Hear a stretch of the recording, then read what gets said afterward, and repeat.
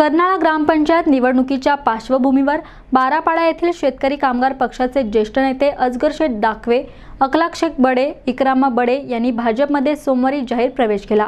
हा पक्षप्रवेश सोहळा माजी खासदार लोकनेते रामशेठ ठाकूर यांच्या अध्यक्षतेखाली संपन्न झाला असून त्यांनी प्रवेशकर्त्यांचं पक्षाची शाल देऊन पक्षात स्वागत केलं.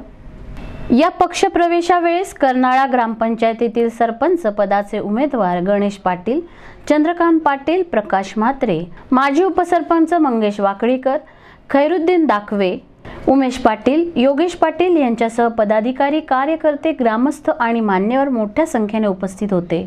तसेच यावेळेस कर्नाळा ग्रामपंचायतीतील भाजप शिवसेना युतीच्या विकास पाटील रोशनी पाटील जिशान दाखवे कमला पाटील जगदीश जंगम सुनीता वाघमारे सुरेश हापसे तुलसा हापसे या सदस्यपदाच्या उमेदवारांनी माजी खासदार लोकनेते रामशेठ ठाकूर यांची भेट घेऊन आशीर्वाद घेतले.